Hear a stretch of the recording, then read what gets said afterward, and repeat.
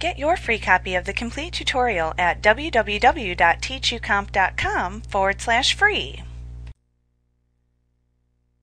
Your computer has a built-in clock that keeps track of the date and time, even when your computer is turned off.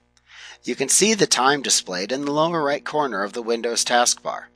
If you rest your mouse pointer over that time display for a moment, the date will appear in a small pop-up window. You can also click on the time display in the Windows taskbar to view the date and time settings for your computer. You can also click the Change Date and Time Settings hyperlink to open the Date and Time Settings dialog box where you can set the date and time. You can click the Change Time Zone button to open another dialog box where you can select the time zone for your computer. If you need to adjust your time for daylight savings changes, check that feature at the bottom of this dialog box to enable it, and then click OK.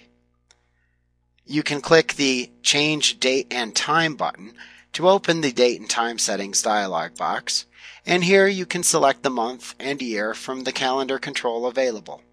If needed in the time area, you can enter the current time into the text box.